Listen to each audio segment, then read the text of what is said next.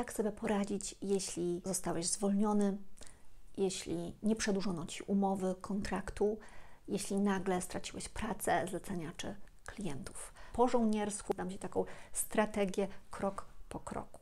Po pierwsze, odnieś się do faktów i bazując na tych faktach, zastanów się, co się w ogóle stało, jak to nazwać, ale wyłączamy emocje, tylko odnosimy się do faktów. Czy zostałem zwolniony, czy nie przedłużono mi umowy, czy może coś innego. Jak to nazwiesz, odnosząc się do faktów? Tutaj musisz być trochę jak kamera, rejestrować dokument na temat Twojego życia, a nie emocje. Tak? Po prostu jak my to nazwiemy? Pierwszy krok. Drugi krok, czy to jest w ogóle zależne od Ciebie? Można to podzielić w sumie na trzy kategorie. Rzeczy, które są zależne od Ciebie, rzeczy, które są zależne od innych ludzi, od pracodawcy, od współpracowników itd. Tak i rzeczy, które są niezależne. W sensie są zależne od losu, od wszechświata, od szczęścia, od okoliczności zupełnie zewnętrznych i niekontrolowanych. Zwykle na każdą sytuację wpływa po trosze każda rzecz. Więc zastanów się najpierw nad sobą, co mogło być zrobione lepiej z Twojej strony. Co możesz na przyszłość zrobić, żeby uniknąć tego typu sytuacji, żeby się udoskonalić. I tutaj pamiętaj, nie chodzi o to, żeby się obwiniać, samobiczować. Nie, my chcemy po prostu wyciągnąć wnioski z tej sytuacji. Żyjemy i uczymy się. Musisz nazwać konkretne zachowania, na które masz wpływ, co możesz udoskonalić, bo bez tego no, nie możesz się udoskonalić.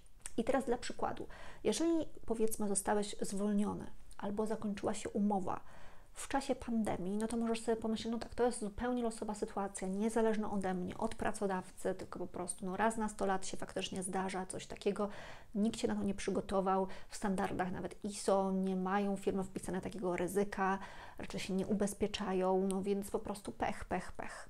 Może tak być i w wielu wypadkach pewnie tak będzie, ale może się też zdarzyć, że faktycznie no nie wszystkich zwolniono, zwolniono akurat Ciebie albo jakąś część osób. I teraz dlaczego? Dlaczego akurat Ciebie, a nie kogoś innego? I teraz wiem, że to pytanie jest może ciężkie i przykre, ale warto sobie na nie odpowiedzieć właśnie po to, żeby sobie szybciej i lepiej poradzić z tymi emocjami, otrzepać się i pójść dalej. Być może wcześniej były już jakieś sygnały, jakieś pomarańczowe lampki kontrolne, że coś się w Twojej firmie nie układa.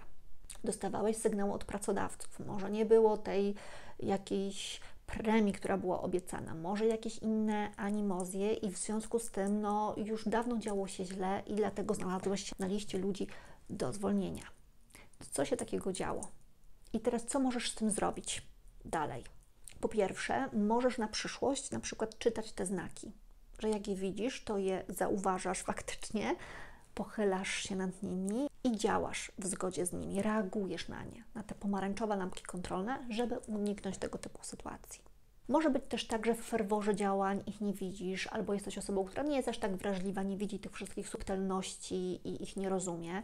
I taką strategią zapobiegawczą na przyszłość może być rozmowa z przełożonymi na bieżąco nawet profilaktyczna, na zasadzie po prostu co miesiąc idę do mojego przełożonego, zapytać się, czy wszystko jest ok, spytać o wyniki. Wiadomo, że niektórzy mają praktykę ocen, ale to może być za rzadko ocena pracownicza. Może potrzebujesz częściej monitorować swoją sytuację, mieć rękę na pulsie, wiedzieć, co się dzieje. I to może być strategia numer dwa dla Ciebie na przyszłość. A trzecia strategia to jest na przykład szukanie pracy zleceń czy klientów na bieżąco, czy też jakieś zdywersyfikowanie swojego dochodu, może otworzenie działalności, może posiadanie dwóch prac, może tu pół etatu, tam pół etatu, kombinowanie. Jak to zrobić, żeby tego typu sytuacji uniknąć. Również samo szukanie pracy jest fajnym ćwiczeniem, żeby zobaczyć, jaką mamy pozycję na rynku, czy my potrafimy to, co trzeba i tak dalej. I jak my czujemy te lampki, że się świecą, pomarańczowe albo już prawie czerwone, to to jest bardzo ważny sygnał, żeby raz z tym szefem pogadać, ale dwa, żeby po prostu sprawdzić, jaką mamy pozycję na rynku, żeby się tutaj zabezpieczyć. Więc to są oczywiście przykładowe wnioski. Zastanów się teraz, co ta sytuacja Ci uczy, czego się możesz nauczyć, co możesz zrobić lepiej na przyszłość. Co możesz w ogóle zrobić, albo też czego możesz zrobić więcej, czy też czego możesz zrobić mniej.